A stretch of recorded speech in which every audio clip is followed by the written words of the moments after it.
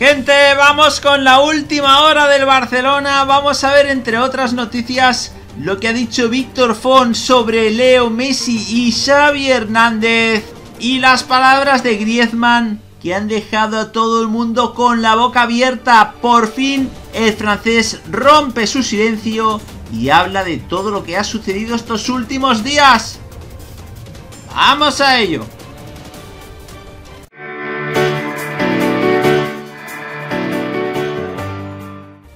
Hola de nuevo chicos, ¿cómo estáis? Bienvenidos de nuevo a otro vídeo para el canal. Vamos a analizar la última hora del Fútbol Club Barcelona. Vamos a ver varias noticias, por tanto te animamos a que te quedes hasta el final del vídeo y a que nos dejes un buen like. Sin más dilación chicos, vamos a analizar la primera noticia y vamos a ver qué planes tiene Ronald Koeman con Samuel Umtiti. El calvario que atraviesa el francés sigue sin acabarse y así seguirá por lo menos por un par de semanas más. Así lo ha anunciado Ronald Koeman, entrenador del Barcelona, durante la rueda de prensa previa al choque entre el equipo catalán y el Dinamo de Kiev por la cuarta fecha de la fase de grupos de la Champions League 2021. La grave lesión que sufrió Gerard Piqué en el choque por la liga ante el Atlético de Madrid hizo saltar las alarmas en la defensa central, debido a que por el momento Lenglet es el único futbolista que se encuentra disponible y sano para jugar en dicha zona del campo. Sin embargo, la misma situación hizo que el entorno barcelonista se preguntara sobre el tiempo estimado que aún se deberá esperar para presenciar la vuelta a los terrenos de juego de Samuel Umtiti, quien ha visto como los problemas con su rodilla lo distancian aún del momento de volver a pisar el césped. A propósito del tema del defensor central francés, el técnico del Barça Ronald Koeman destacó en rueda de prensa previa al choque ante el Dinamo por la Champions lo siguiente y dijo sabemos que Umtiti lleva bastante tiempo lesionado y esperamos que en dos semanas estará en condiciones de jugar Ojalá sea así porque lleva mucho tiempo sin jugar, desde junio, y necesita recuperar mucho, pero ya está entrenando con el grupo. El campeón del mundo con la selección de Francia en el Mundial de Rusia 2018 entra todavía en los planes del técnico azulgrana, pero aún no está disponible para ver minutos. Dada la grave baja de Piqué y la duración estimada de la misma, se espera que el exjugador del Olympique de Lyon llegue en un buen estado de forma, dado que su llegada es más que necesaria en estos momentos de precariedad en la retaguardia culé. Desde antes de coronarse como campeón del mundo con la selección francesa en 2018, Samuel Umtiti ya había presentado varios problemas en sus rodillas, esta situación debilitó dicha zona del cuerpo del futbolista, hecho que le ha causado más problemas de los esperados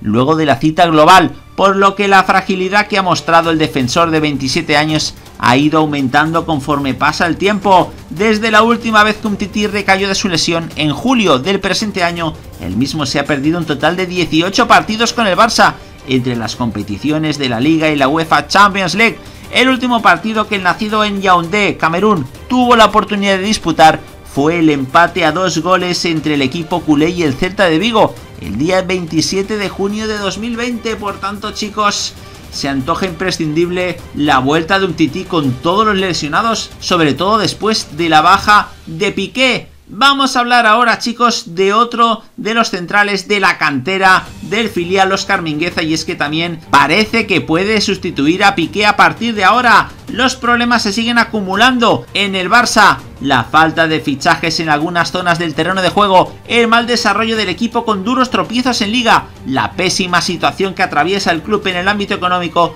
la ausencia de un líder institucional en la presidencia del equipo tras la salida de Bartomeu, el mal momento de forma que atraviesan los mejores jugadores del equipo encabezados por Leo Messi y las lesiones de larga duración que afectan a pilares del equipo. La lista de problemas del equipo es interminable, como se puede ver, aunque la que más preocupa actualmente es la de sustentar al equipo atrás, sin Gerard Piqué varios meses, y ahí es donde aparece el nombre de Oscar Mingueza, quien es ese central del filial que apunta a acumular bastantes minutos con el primer equipo blaugrana en este tramo de la temporada. La lesión de larga duración de Piqué y los problemas físicos que sigue arrastrando tanto Ronald Araujo como un Titi le convierten en un fijo para Ronald Koeman que alguien tendrá que colocar al lado de Clement Lenglet.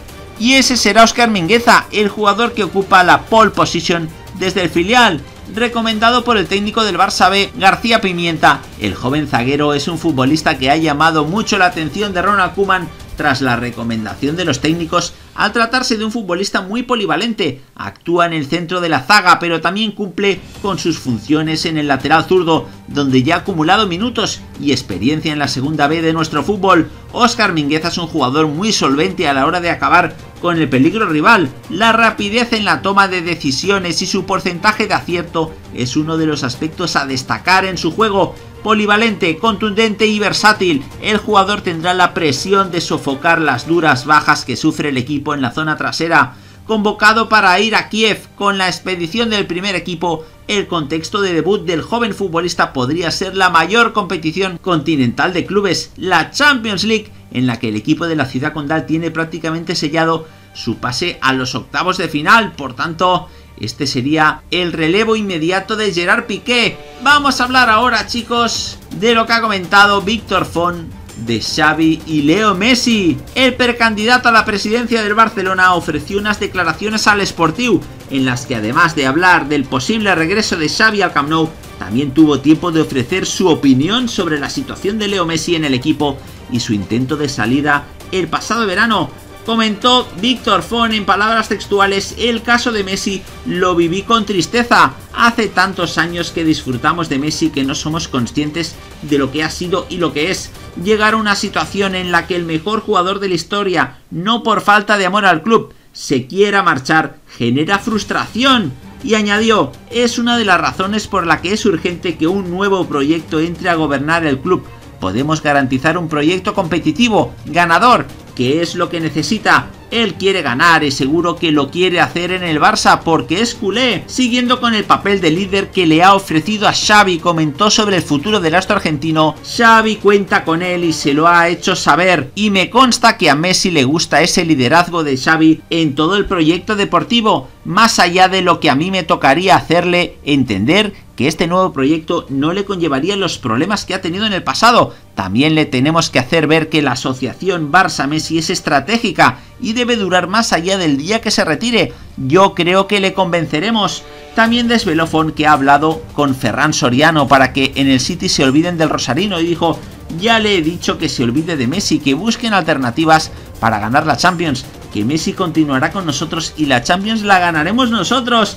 Fon también tuvo tiempo de hablar de la situación de Griezmann en territorio culé y dijo, siempre he dicho que las decisiones sobre fichajes las debe tomar la estructura deportiva del club y en el Barça esto no ha sido así.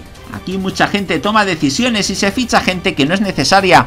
Yo dije que como socio pensaba que en aquel momento era un fichaje innecesario, porque la posición la teníamos bien ocupada por Messi. Griezmann ahora ya está en el Barça y tenemos que hacer lo posible para que tenga éxito. Es uno de los mejores jugadores de Europa, por tanto chicos, esto es lo que ha dicho Víctor Fon de Xavi Hernández y de Leo Messi. Vamos a acabar hablando chicos de Antoine Griezmann y es que ha dicho basta con todo lo que está pasando alrededor de su figura y ha roto su silencio. Griezmann ha concedido una entrevista a Jorge Valdano para su popular programa Universo Valdano, la primera en mucho tiempo del francés, una entrevista que promete traer cola. ¿Cuál será el nuevo anuncio de Griezmann? Acostumbrados ya a sus mediáticas decisiones, en esta ocasión parece algo más personal, parece por lo que se intuye en el teaser de la entrevista que se ha hartado. Dice Griezmann que ha llegado el momento de hablar y dice, como dije en mi presentación, no quería hablar fuera, sino en el campo porque soy así, porque es lo que mejor se me da,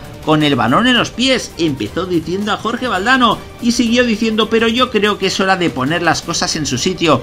Llevo mucho tiempo aguantando cosas, comentarios, y ya dije que ya basta, añadió el francés. Así pues Griezmann lo ha vuelto a hacer. Esta vez no es un documental sobre si se irá o no de su club.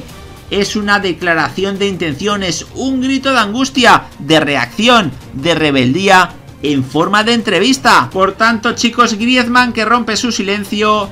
En los vídeos posteriores vamos a analizar con detalle todo lo que he dicho en esta entrevista con Jorge Valdano. Nos gustaría saber vuestra opinión al respecto de cualquiera de estas noticias y que por favor nos la dejéis en los comentarios justo debajo de este vídeo. Nada más por el momento, como siempre, animaros a dejar un buen like al vídeo, a suscribiros al canal si no lo habéis hecho y a darle a la campanita para recibir todas las notificaciones cuando subamos un nuevo vídeo.